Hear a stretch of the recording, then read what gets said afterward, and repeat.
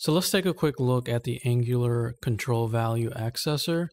And basically what this does is it connects elements to the Angular's form API. So right now I just have a form and I have a button to save and then I have a button to disable every input. Right now there's only one input. Um, so let me show you what I have in the code. So I basically have a component called garage and then I have another component called car and I'll get into that one in a second. So my garage component just has a form that's wrapped in a form group, which is a reactive form in Angular. And this is my input right here. I just have a regular input with the form control name of owner. And so that ties into this form, whoops, this form right here. This form has basically two form controls, owner and car1. And I also have this validation message here. Um, so I'll show you that really quick.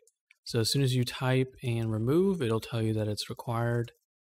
Um, so that's just my little message there. And then when you hit disabled, then you can no longer type into the field. So now let's say that I want to add a custom component here, um, but I want it to be part of the form group, right? So let me show you what I mean, right? So I have this car component and inside of this car component is just a regular input, nothing special. And I'm going to output this component here, but I want it to act as part of the form. And let me show you what I mean. So I'm going to copy this input.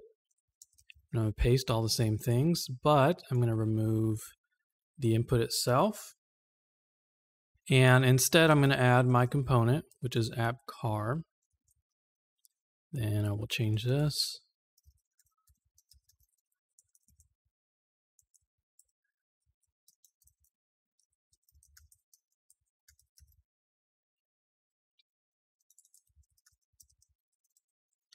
And so I already have a form control for this car one, right? So that's this one right here. Um, so I've added that in there, right? And let me take a look at what this looks like, right? So everything looks fine.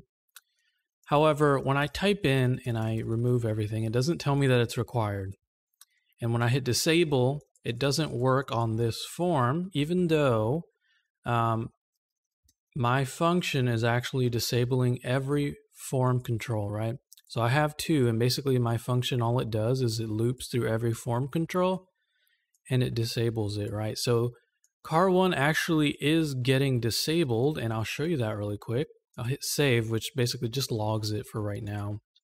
If you go to the controls of the form and you go to form 1 or car 1, you see that the status is actually set to disabled. So this is disabled, but Right now, this has no way of knowing that this is the form control that I specified, right? Because of course you have to provide it a form control name for this to work. Okay. So I'm going to go ahead and copy that and paste it here. But this time I'll use the car the form control that I have again right here, car1. So I have to specify that name.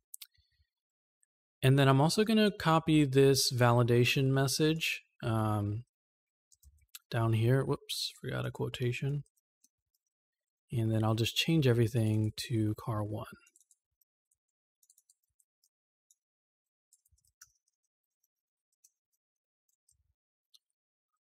Now you'll notice that as soon as I save that, I get this error here that says no value accessor for form control.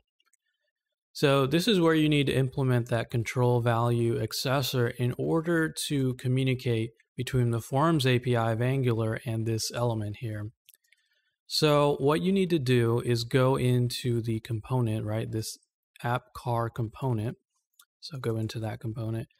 And then over here at the top, you have to say implements control value accessor, right? And that comes from the Angular Forms um, library.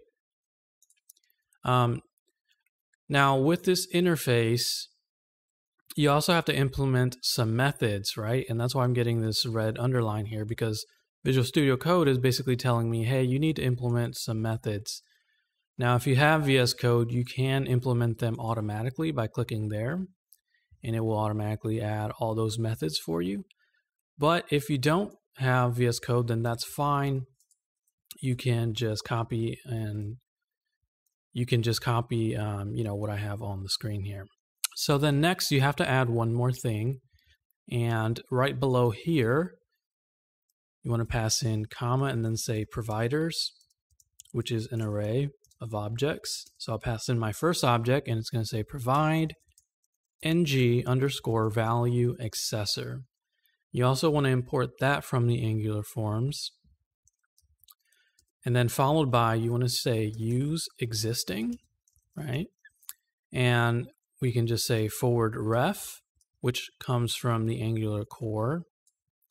And then inside of the parentheses of forward ref, you pass in a function like this that points to the car component, right? And this is basically saying there's already a value accessor um, for this for this input, right? So just use the one that it already exists, right? Which is coming from here, from my form.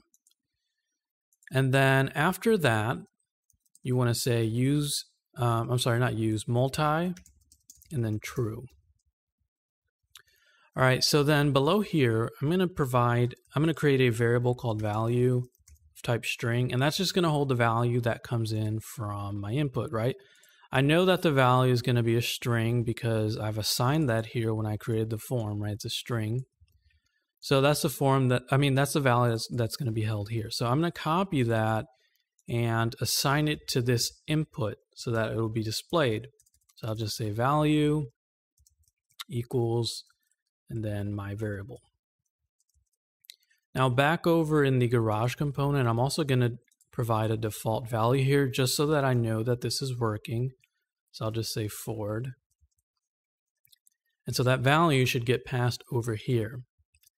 Now, now let's get into what these functions are. So this write value, what this write value does is whenever there is a value that comes in from from the component that's hosting this, so my garage component, if it has a value preset, which mine does, I just gave it this value, right?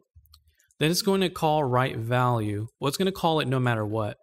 Um, but what gets passed is any value that might be assigned to it, right? So I'll just rename this to value. It's going to be of type string, right?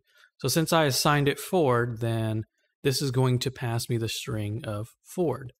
So now I can say this dot value equals value. That'll grab that value. Now, in case we don't have a default value, I don't want to assign undefined, so I'll just say if value is true, then give it value. If not, just give it an empty string. Okay. So I'm going to comment these out for right now, and we'll get to those in a second. For right now, I just want to save everything and see if this is working. So you shouldn't see that error anymore, and then you should see that default value there now in the input. So now it recognizes that this is a valid um, input. And now you'll see when I hit disable, it disables this top one, but it doesn't disable the, the form here, right? And also, um, if you delete the value, it doesn't tell you that it's required, okay? So we don't have the full capabilities yet um, because we haven't finished mapping these here. And going back to the garage component, I'm going to show you a few other things. So at the top here, I'm going to just create a heading um, to show you a few things with my form. So just bear with me for a second. Um, so I'll say form, and then I'm going to get the form control called car1, and I'm going to log its value for right now. So I'll say value, and then I'm going to do this a few more times. So this one instead will say um, touched, whether or not the form's been touched. This one's going to say dirty.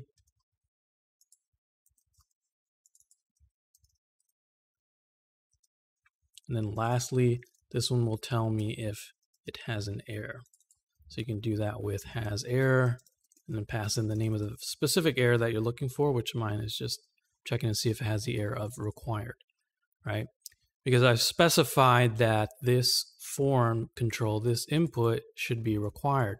So I should have an error if the field is not filled in. So let's go take a look at what we have. Right now it tells me that the value is Ford. But if I change this, notice that the value never changes, okay? That's because we haven't registered this on change function, okay? That's what that does. Then you see that it says touch false. And then if I, you know, I've already touched this input and focused out of it, but you notice it still says false. That's because we haven't registered this one.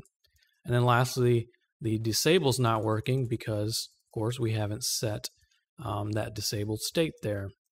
And then lastly, you'll notice that if I delete the value, it doesn't give me that error of required, but that's really because this value is hard grained in here. Um, if I were to not provide a default value, then that error would be here, okay? Because the form control is wired up properly, so it, it, it'll know if it has a value or not. So let's implement these, um, these methods that came from the interface to um, correctly get those messages. So first what I'm going to do, so basically uh, what, what this does is when this initially loads, it basically tell it asks you to register your on change function, right? So basically you define the function here and then you assign it the function that comes in from the control value accessor and then it takes care of it for you. So let me show you what I mean. So I'm going to create a function here called on change and it's not going to return anything. And then one called onTouched.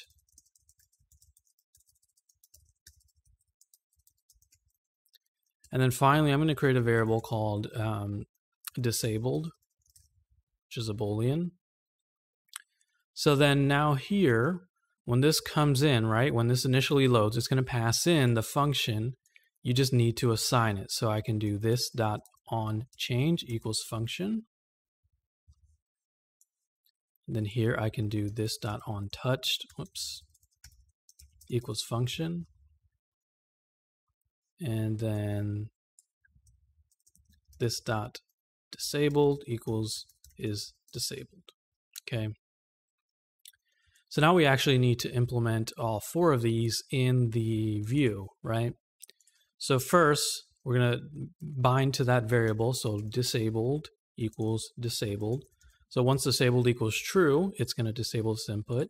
So for the on change, you want to call that anytime the value changes. So I don't have any functions in here that's changing the value, but if you did, like if you had more logic in here, you want to make sure that you call that function the on change anytime that value changes. Otherwise, it won't register.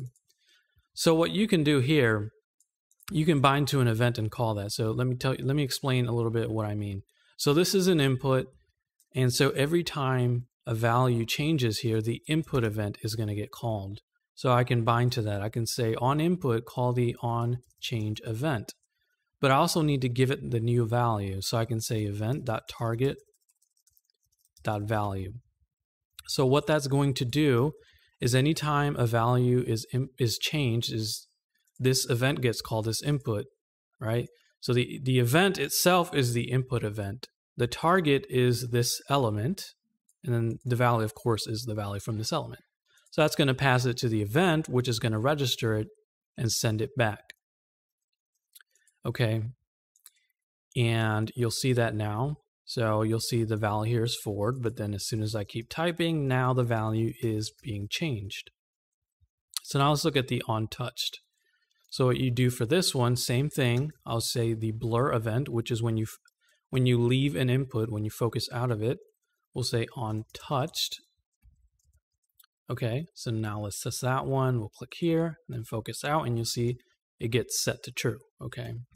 Okay, and then let's test out the disable. You'll see now it actually is disabling it. And then I'm also going to test the error, and you'll see you get the error required there.